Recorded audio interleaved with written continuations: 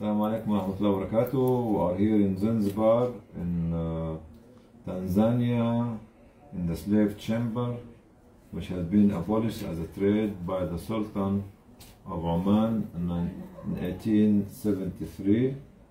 And slaves used to stay here and here, and there was no toilets as you can see, and used to be chained like that, male and female and used to pass water and defecate here. And this passage was actually open to the ocean so whenever the tide come he washed the uh, uh, uh, the urine and the others to the other side. Used to be here for days weeks or months. Then they being shipped to another country. And this was actually high level of uh, what do you call it of unjust to human dignity and human rights. This is another chamber, and you can you can understand how high it is. So you cannot stand here.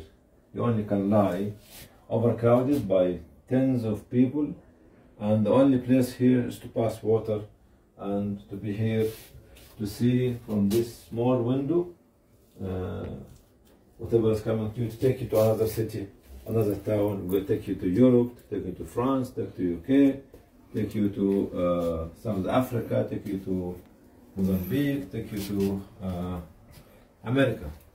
Uh, this slave trade has been done uh, extensively by mainly by European because they wanted cheap labor force and strong labor force to work in the field in Europe and America and to be shipped there. There was many markets in the city and actually so uh, Zanzibar was used like a hub to from where slaves was actually shipped to other cities. Alhamdulillah, the, 1873 it was uh, abolished, actually then totally abolished uh, 10, 20 years after that.